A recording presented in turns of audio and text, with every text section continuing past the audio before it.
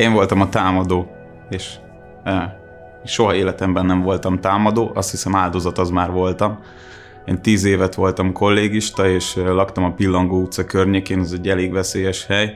Ott három évet húztam le, és az, az, az azt mondom, hogy még férfinak is egy veszélyes környék, nem hogy nőnek, és ugye itt az imént bemutatott jelenetben nőket ért a támadás, el sem tudom képzelni, hogy milyen lehet az, amikor valaki vétlen, az viszont egy nagyon jó dolog, hogyha ezt valaki fel, felismeri, hogy, hogy kvázi áldozattá vált, és baromi jó, hogy erre van egy platform, ahova lehet fordulni, ez az áldozatsegítő központ. Legyetek bátrak és használjátok. Mindenki számára van segítség.